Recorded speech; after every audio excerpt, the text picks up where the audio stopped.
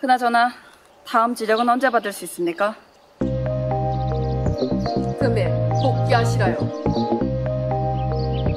네? 당의 지령입니다. 동무는 그저 따르세요. 현재로선 지원 동무 인편이 제일 빠르단 판단이 내려졌습니다. 뭐야?